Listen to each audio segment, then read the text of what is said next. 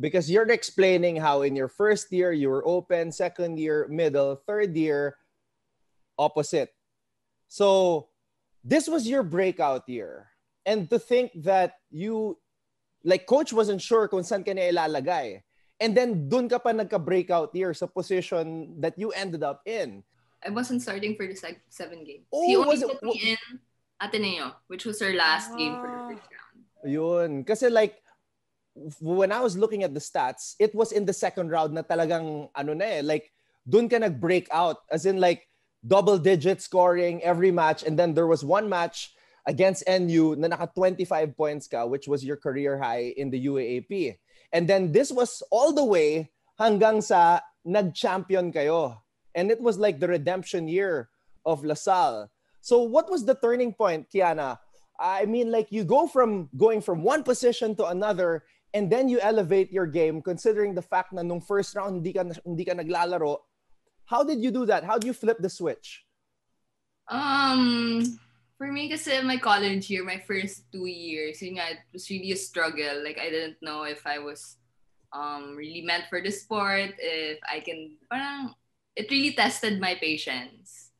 Like, it really questioned my abilities to play. Kasi, yun nga, um, I wasn't being used that much. So, that really takes a toll on, on, on a player. And then, parang third year, yun talaga na parang I was so sad kasi there was this game I remember, like he put everyone in except me Wow. nung third year ko. So I was like, um, I, as in I was really crying after the game. Na parang ayoko na, ayoko na. Cry baby. Parang ayoko na parang, ano ba yan? Like, ako lang yung hindi pinasok and stuff like that. So, yun. And then, and then after that game, parang during the trainings, it was super obvious that I was sad and stuff like that. I wasn't really talking to anyone. Kasi, yun nga, parang a lot was going on in my mind. And then Coach Ramil, um, he he noticed that I was like that. So parang after a team meeting, he talked to me personally na parang, he said, don't worry, gagamitin kita. Parang gagamitin kita for a game. Maghintay ka lang. So from from from that day na he told me that, parang nag pumalit talaga yung aura ko na I was so excited na, oh, he was gonna use me, ganun, ganun. So like I was really like doing trying my best, doing my best during trainings to show coach na parang I I deserve to play. parang this was enough na parang I didn't want to feel like that anymore, like how I felt. And then yun, he told me he was going to use me for the Ateneo game. That um that round. So I was like, this is my chance, it's now or never. Kasi for Coach Ramil, like tatatak talaga sa kanya yung laro mo. So I was like, this is it talaga. This is the chance he's giving me. If I don't play well here in this game, he's not gonna use you anymore. So it's like that was really in my mind. I have to do really good in this game. So yun, I think kasi coach talaga he really ano eh, yung words niya talaga parang I really take it in. Like it really means a lot to me.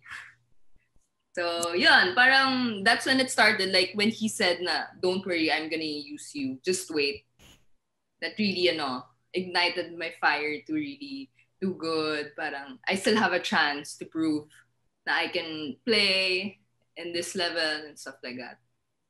So, yeah. Grabe. Tapos nagtuloy-tuloy ah, hanggang sa nag-finals MVP. Galing, galing din ah. Like, uh, I, I never heard that story and it's crazy how one moment like that can change the the direction of a player's career, no? Grabe. Yeah.